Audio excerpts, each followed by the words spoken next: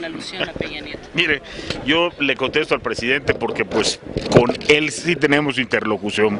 Normalmente los que no tenemos pelo siempre tenemos un poquito de envidia de los encopetados, así que lo demás pues me parece una gracia del, del cardenal y hay que tomarlo en esos, en esos términos, ¿no? Pero el asunto del presidente sí es muy serio, ¿no? Yo creo que ayer vimos la expresión de un presidente decidido a jugársela con su partido y a jugársela con su candidata. Ayer una vez más corroboramos que la candidatura del PAN, la candidata del gobierno, tiene un profundo eh, agujero en la línea de flotación, hace agua y desesperadamente entra a sustituir esa candidatura del presidente de la República. Es inadmisible. Necesitamos al presidente de la República dirigiendo a todos los mexicanos. Necesitamos al presidente de la República no entrando al rescate de naufragios electorales, sino al frente de las instituciones del país para también en la transición encabezar los cambios que se necesitan. No tiene caso que tratemos desde el gobierno, desde cualquiera que sea sus niveles, influir en el electorado. Hay que dejar que el pueblo de México decida. Me parece muy grave que el presidente recurra una y otra vez a su investidura para tratar de rescatar la candidatura de su partido. Ante esta situación, esta investida que ustedes ven por parte del gobierno federal, con toda la estructura del mismo, eh, ¿creen poder llevar a cabo lo que es ganar la elección eh, con el encopetado? Creemos que absolutamente vamos a ganar la elección. Creo que vamos a tener además una elección donde la gente pueda decidir y queden los resultados de la, elección con la fuerza necesaria para que empiece efectivamente a llamarse a la reconstrucción del país. ¿Por qué el PRI no asume una campaña de ofensas, una campaña de calumnias o contestar chistes o este tipo de expresiones?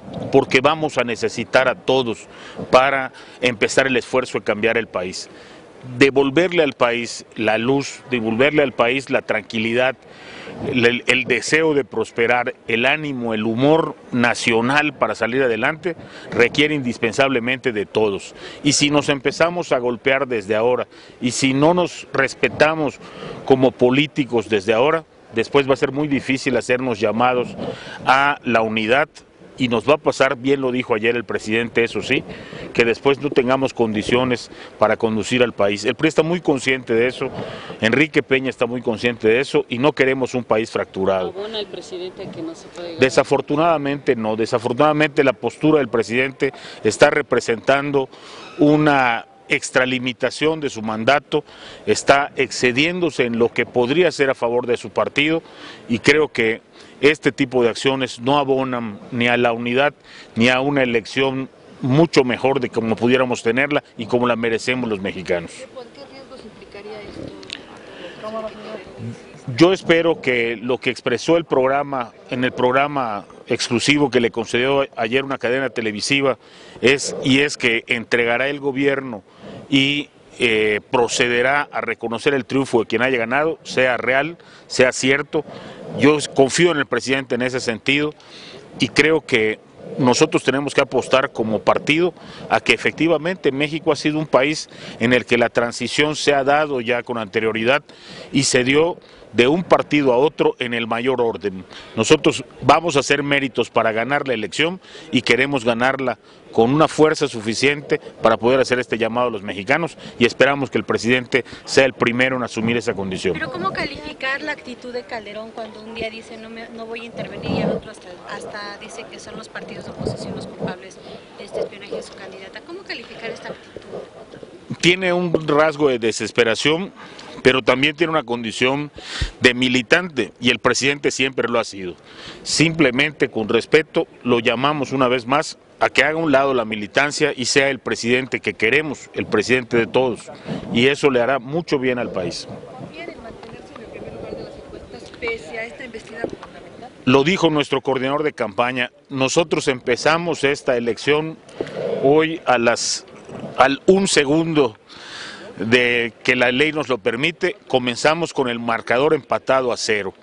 Para nosotros las encuestas no cuentan, vamos por conquistar la voluntad de los mexicanos y para nosotros la lucha está empezando hoy, estamos cero a cero. Pero parece que los legisladores no entienden que es, es de día de mañana cuando empieza la elección, mire, no hay asistencia de muchos legisladores.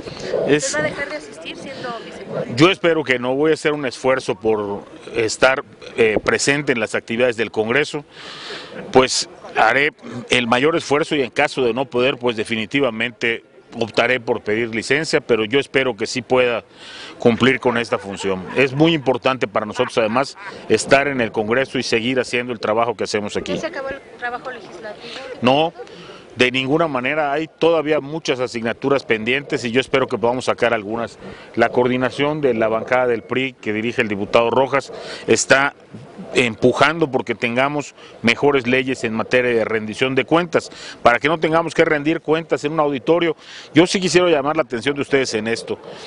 Nosotros esperamos ganar la presidencia de la República, pero desde ahora desde ahora estamos endureciendo las leyes para revisarle cuentas al presidente. Esto demuestra el ánimo del PRI por tener efectivamente un presidencialismo acotado en sus funciones y un presidencialismo que sí rinda cuentas, no en eventos para la televisión, sino que le rinda cuentas a la función pública, que le rinda cuentas a la Auditoría Superior de la Federación.